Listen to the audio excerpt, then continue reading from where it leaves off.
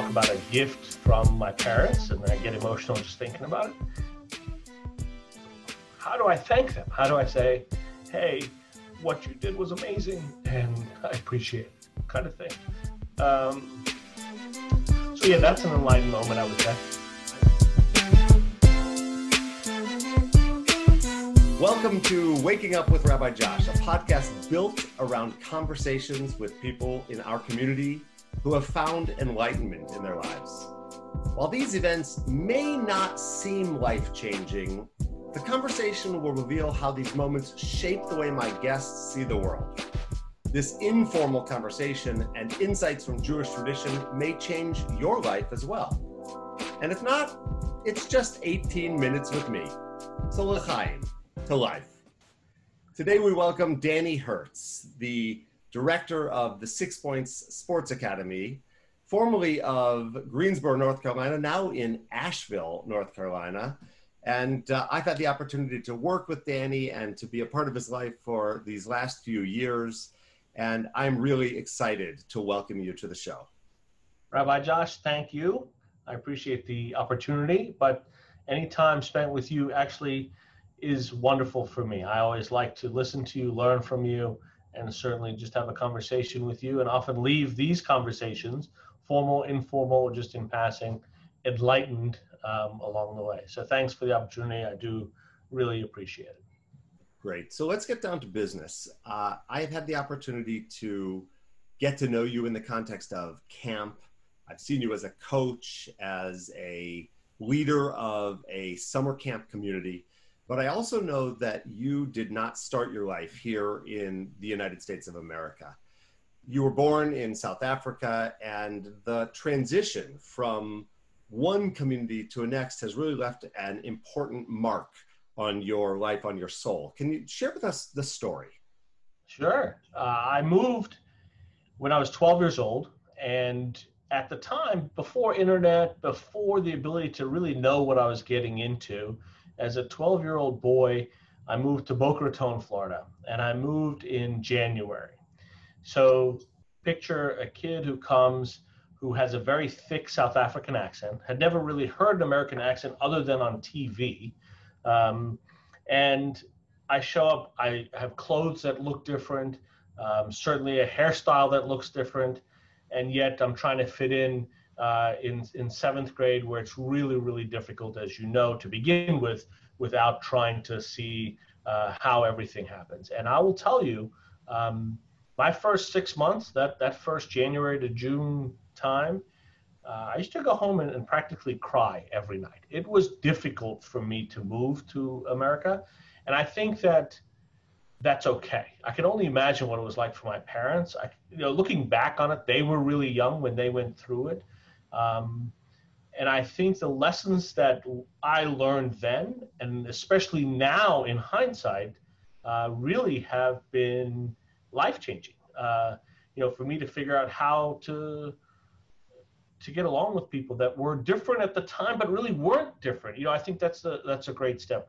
The reason we moved from South Africa now, especially in the world today, is is more important than ever. My parents wanted me to be in a a situation where everybody was equal. And you know apartheid was legal in south africa at the time. And i remember from the time i can i can remember literally this is not where we want to be because not everyone is treated with respect and fairness and equality. And so the the reason we moved and uh, my parents to to for whatever they had a great life there. So they sacrificed everything why? For my sister, for me to have the opportunity to come to a place where we're treated equally, have an opportunity to do what we want to do, to have an opportunity to be proud of who we are. Um, and, you know, I always, I, one of the reasons I respect you so much is the importance of family. And family for us was important too. And yet, the larger family essentially stayed in South Africa so that the immediate family can have this life. And uh, you talk about a gift from my parents, and I get emotional just thinking about it. How do I thank them? How do I say, hey, what you did was amazing and I appreciate it, kind of thing. Um, so, yeah, that's an enlightened moment, I would say. I, yeah, for sure. I, so I, I, you talked about equality. You talked about coming to this country to get something that you couldn't access there. I want to come back to that in a minute because you also mentioned that you came and you looked and you spoke differently from kids here, and yet here in this interview, you sound like an American. You don't speak with a South African accent. How did that happen? Why did that happen? And and is that part of the the enlightenment that you you sort of the waking up that happened to you that made a difference great question i don't know um,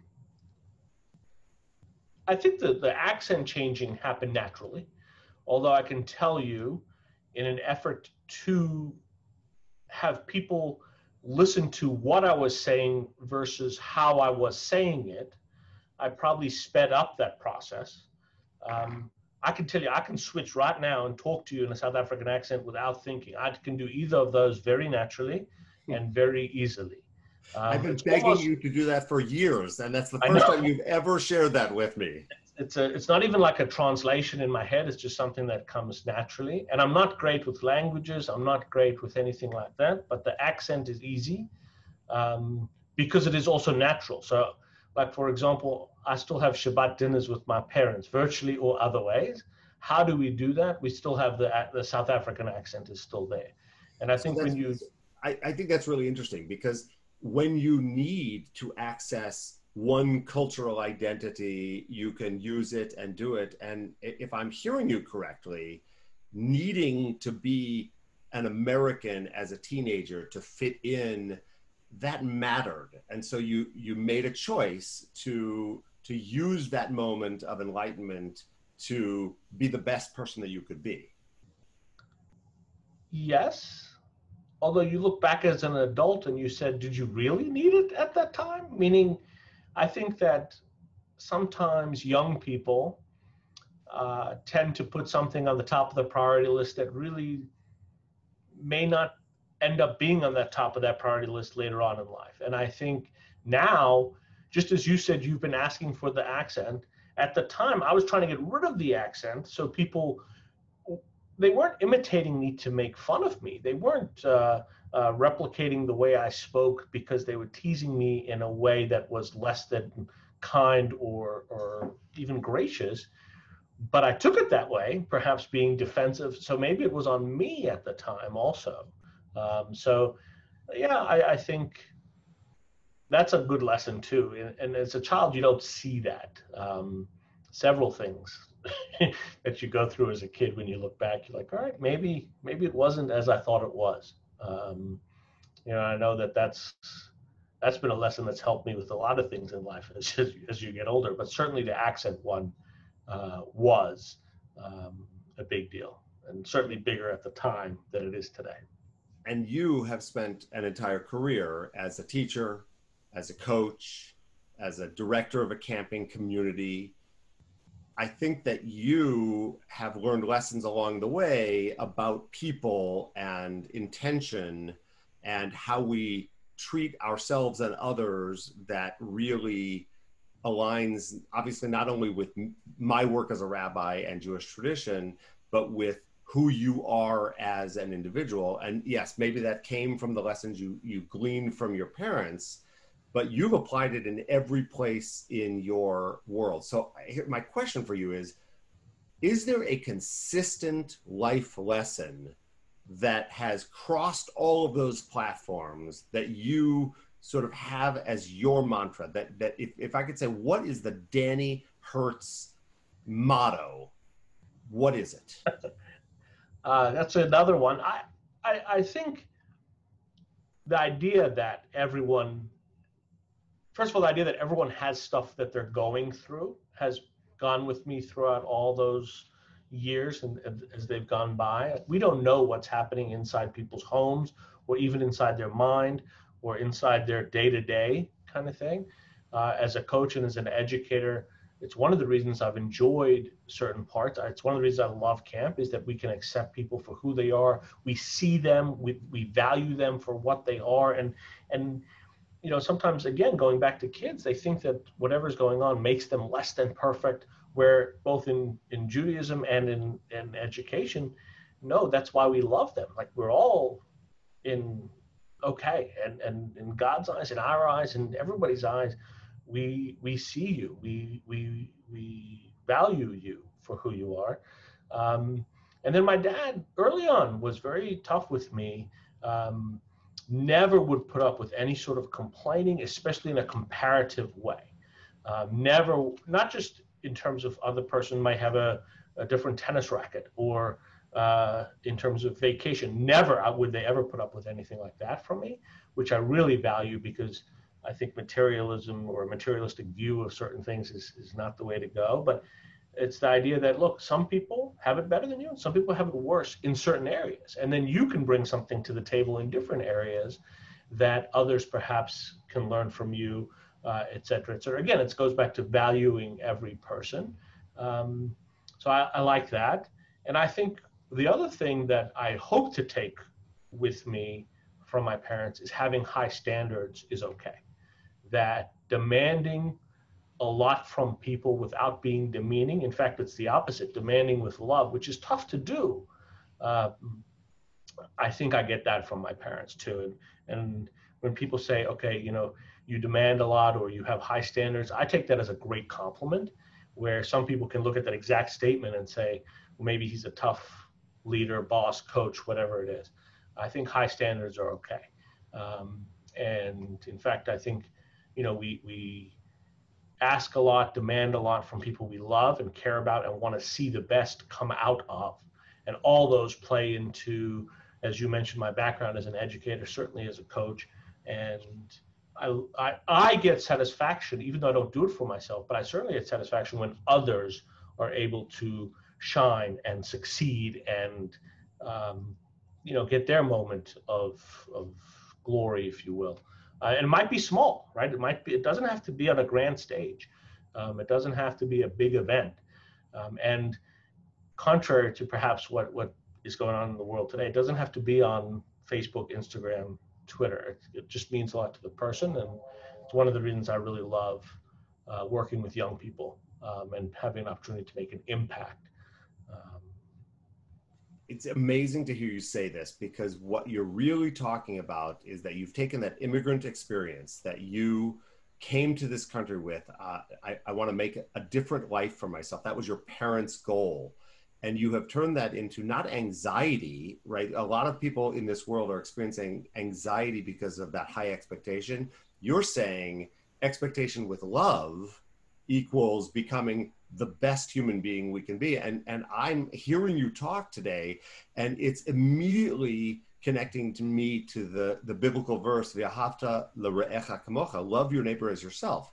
Have high expectations of yourself and you can then have high expectations of somebody around you. So can you give me an example where you have seen that demand for high expectations of a player of a, a staff member has has worked where you've seen maybe without a name but is, is there a moment where you've watched that loving demand work in the world? I think sometimes there those moments occur where people think certain things aren't possible maybe in a bigger level. Um, certainly when you're um, involved with an organization or a group or even on a team level um, and then more importantly, I think when you see a, a young person do something that she or he probably didn't think they could do. Uh, I have, and I save it, and, and I could, you know, believe it or not, pull it up, I'm sure, on my computer. Uh, there's a great video. It's no more than seven seconds long that was taken, and I didn't know it was being filmed at practice one morning. And we used to go at six in the morning before practice, uh, before school. And I remember the kid saying, you know, um, it's kind of early, da, da, da. And, and we said, okay. Um, and I, there was a kid whose goal was to dunk the basketball. Simple goal, but you know, in, in our mind and, and whatnot. And it actually was, was a, a, a Jewish young man who I'm still close with today. This was probably 10 years ago plus. But I said, I said, I'll tell you what, if he dunks it right now, and he's been trying for two years, but if he dunks it right now, no practice tomorrow morning at 6 a.m. We'll go at 3 p.m. Well, during a water break, they're allowed to, to try that once a once a practice. So the kid did it and he dunked it.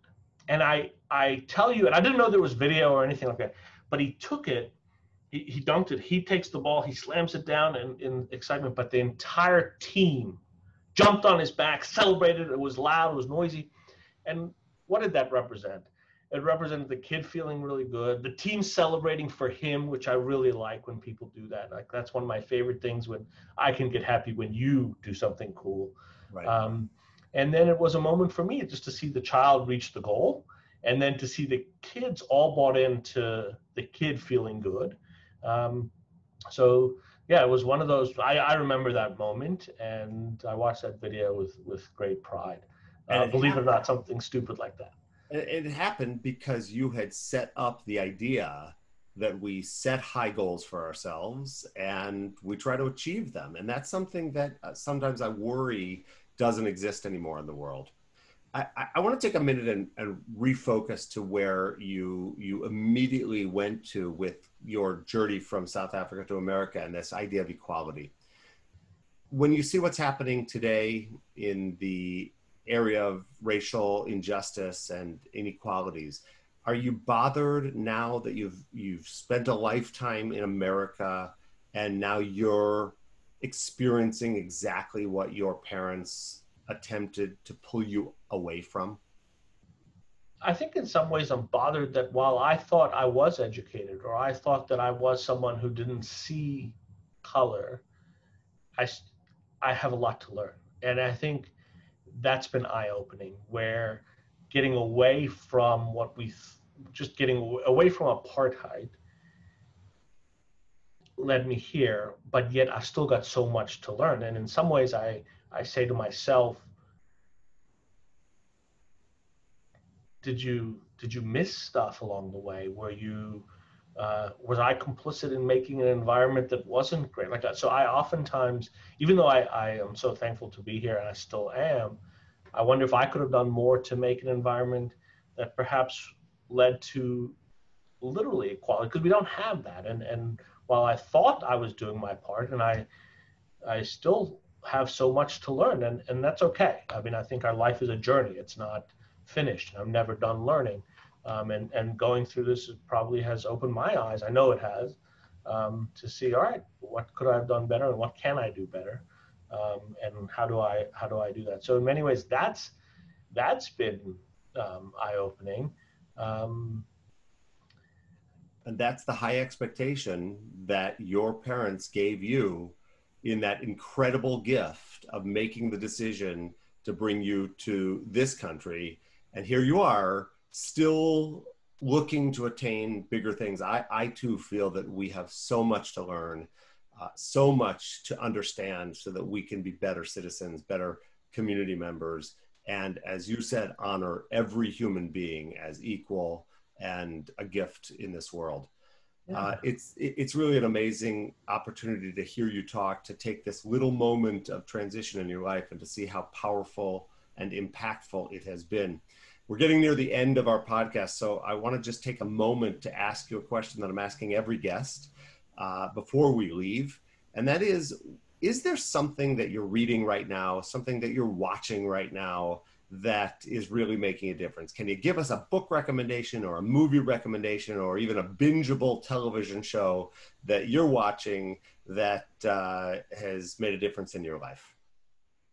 Um, I'll tell you what I've gotten into uh, recently is seeing how there has been either a cover up or a look away in what happened at Michigan State and USA Gymnastics and hmm. how we didn't see it or didn't want to see it or covered up.